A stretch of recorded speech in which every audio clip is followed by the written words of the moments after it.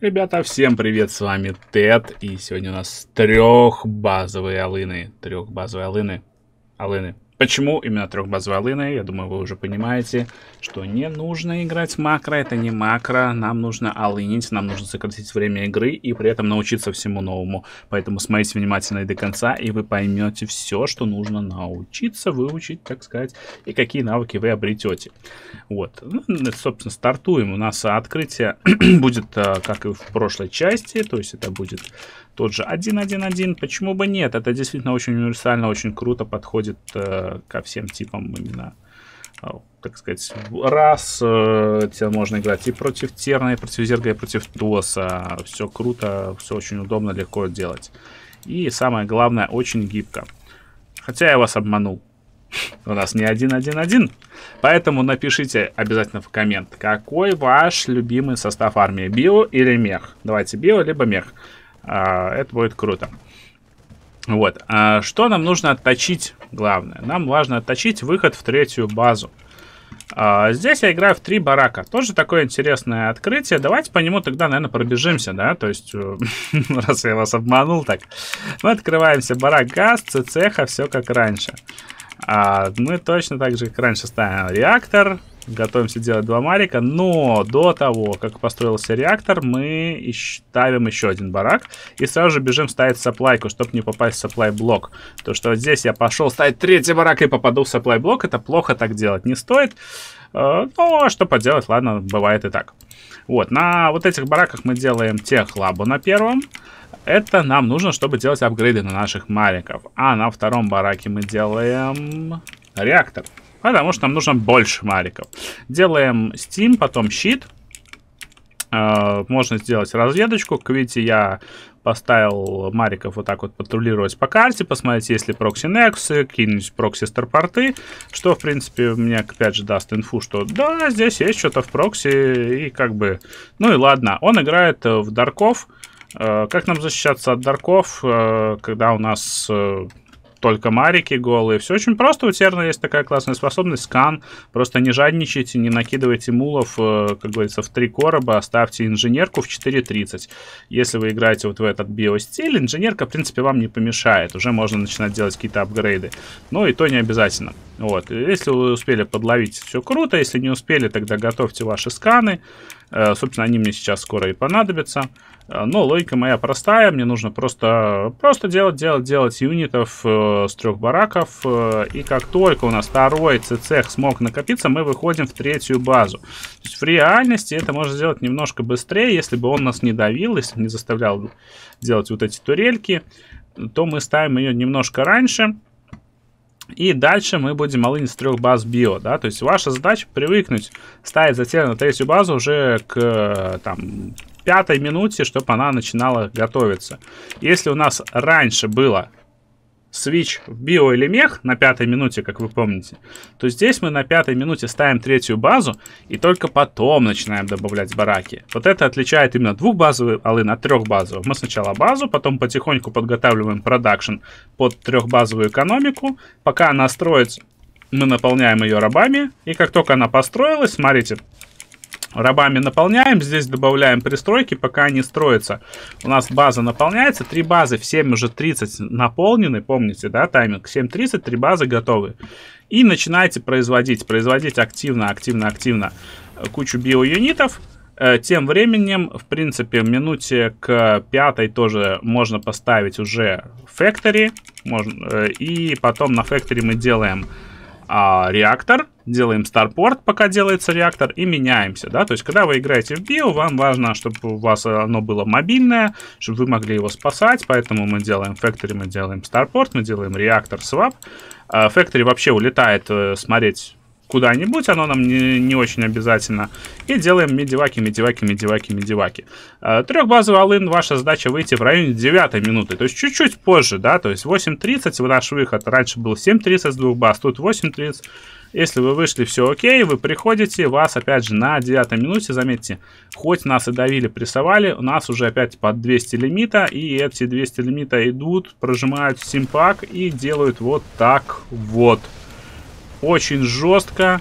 крушат просто ДПС катастрофически, самый жесткий ДПС в игре. Вот такой вот био алынчик с трех баз, обязательно попробуйте. Вот так вот это все работает, это прикольно. А мы тем временем посмотрим мехалын. А, мехалын. Играем против Зерга. Сейчас разберемся, как делать а, именно переход в мех, вообще, что им делать можно. И тут как раз в этой игре очень круто разобрано именно смысл алына, да, именно что такое трехбазовый алын.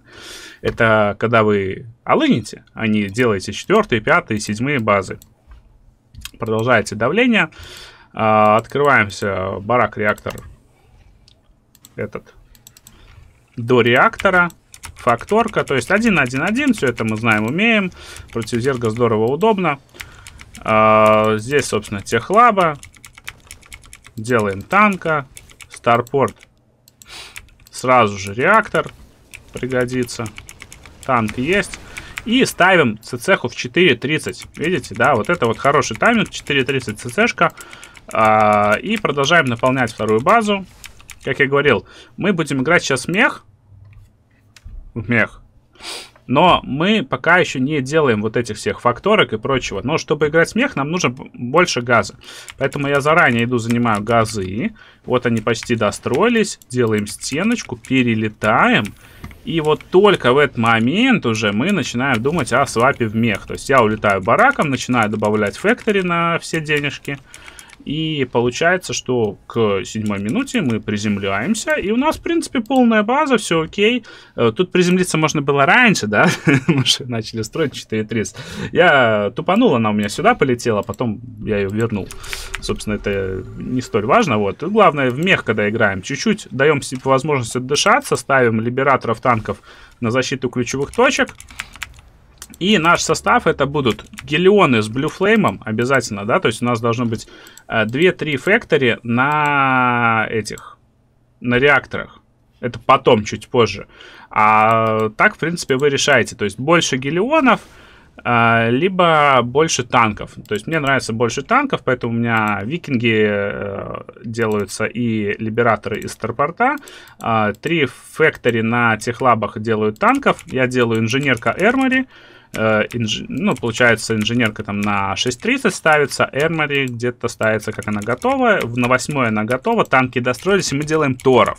То есть то, что наш, э, как бы, беда, замех, это, естественно, когда на нас мута нападает, и нам нужны торы, то есть мы делаем 3 тора раз, 3 тора 2. Замех мы выходим чуть позже. То есть за био мы смогли выйти в 8.30. Забег мы. Замех мы выходим чуть позже, в 9.30. Но идем, вот нас 200 лимита до 10 минуты.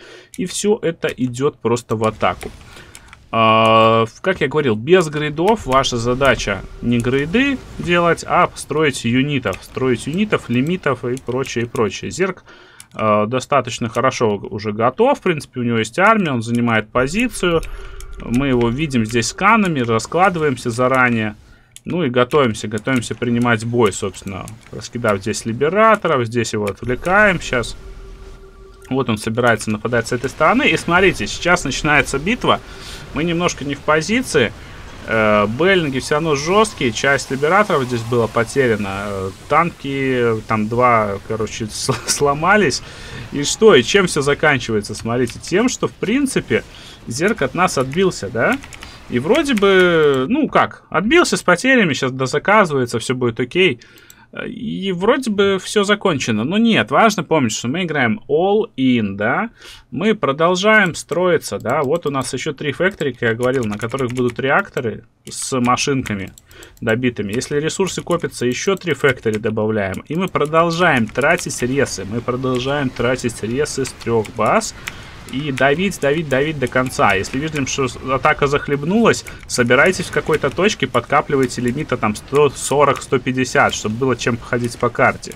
То есть вот здесь вот у меня все умирает, тут я вот один танк оставил, два гелика тут оставил, подходит еще пара танков, потихоньку, потихоньку, потихоньку собирается какая-то уже группировка такая, и, ну, вот эта группировка уже, в принципе, может потихоньку выезжать.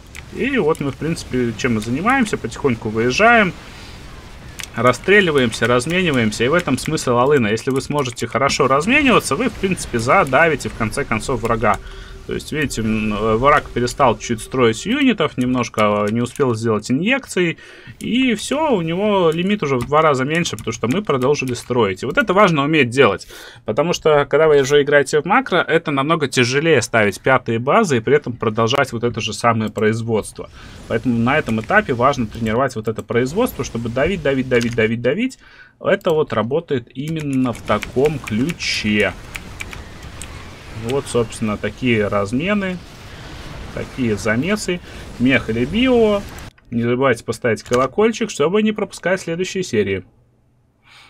Спасибо за ваши лайки и комментарии. Напоминаю, что эта серия — это часть обучающей программы из 10 шагов. Вы можете посмотреть всю программу, перейдя в плейлист, либо перейти на следующую серию. С вами был Тед.